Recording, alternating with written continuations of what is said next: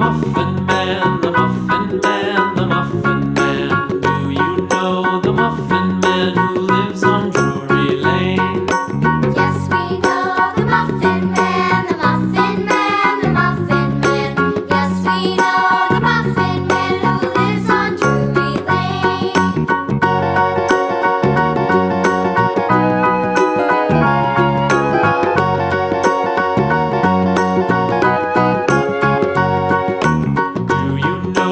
Muffin Man, the Muffin Man, the Muffin Man. Do you know the Muffin